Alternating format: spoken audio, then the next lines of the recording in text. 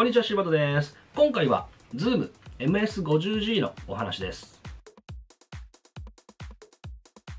この Zoom の MS50G はかなり頻度高く私、シーバードは使用しているんですけれども、2ヶ月ほど前からですね、千葉管楽器さんとコラボをさせていただいてて、エフェクターをですね、たくさんお借りしてるんです。で、その中から生まれた企画が、エフェクターの実機とこの Zoom MS50G の中に入っているモデリングを鳴らし比べるという風な企画です。で、実際に鳴らし比べたのが、チューブスクリーマーだったり、OD1、メサブギーのスロットル、フランジャーディレイなどなどですね、歪みから空間系までいろいろ試させていただきました。まあ、そんな中でですね、ちょっと気づいた点があるので、皆さんに共有させていただきたいなと思っております。第一声でお伝えしたいのが、この Zoom の MS50G はコスト的にも音色的にもかなり素晴らしいということです。もちろん実機には音的には劣るんですけれども、MS50G は1台9000円弱。実機のエフェクターは1台で1万円以上するものばかりです。それと比べて十分納得できるようなクオリティだと私は思っております。9000円で140種類のエフェクトが使えるってことは1個あたりのエフェクトの価格って60円とか70円なんですよ。それが1万円を超える実機にかなり近づいてきているっていうところがコスパ最強マルチエフェクターと言われるゆえんですね。とは言いつつもですね、まあ、当たり前なんですけれども実機にはやっぱり勝てないですよね。そりゃ劣ると思います。でどういうところが劣っていてそこをどうやって改善していくかっていうお話を今回できたらなと思ってます。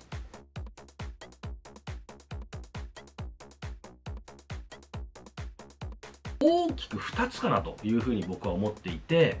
1つはローの出方。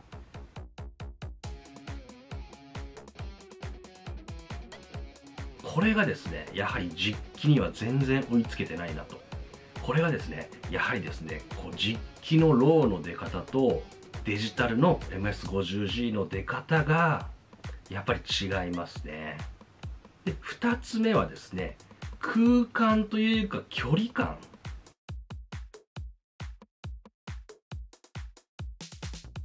アナログの実機の方がやはりですね懐が大きいというかちゃんと空間がしっかりあるんですよね。でもデジタルの MS50G はやはりちょっと近すぎたりとかそれが逆にいい場合もあるんですけれどもちょっと平面なベタとした感じになってしまっているというところですかね。まあ、そりゃですねアナログの実機と比べてそうなってしまうのは当たり前だと思います。ローの出方に関してはですね、まあ、歪み系のエフェクターのメサブギーを使った時もそうだしオクターバーですね。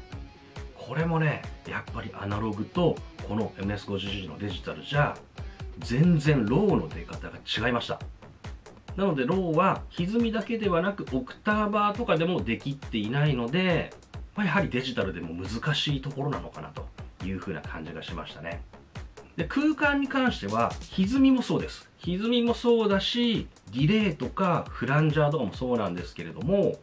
どうしてもこう距離感がベタッとしているような感じがしてしまうんですよね。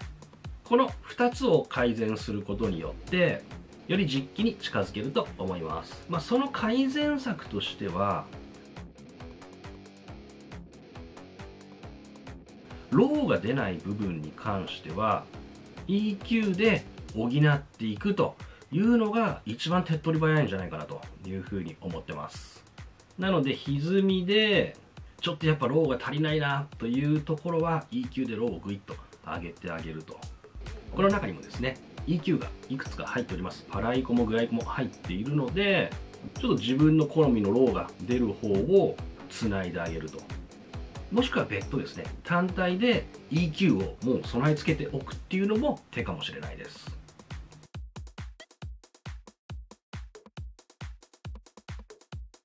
でもう一つの空間に関してなんですけれどもこれはね僕はリバーブじゃないかなと思います。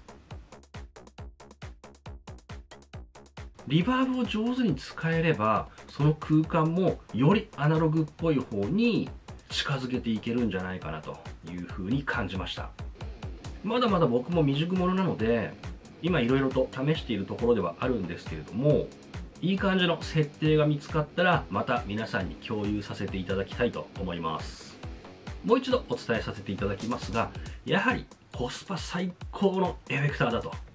いうことは実機と鳴らし比べていてもまた改めて実感したところでございます。お持ちの方々は胸を張ってこの MS50G を使っていただけたらなと。まだお持ちでない方はぜひ Amazon チェックしてみてください。ご視聴ありがとうございました。柴田でした。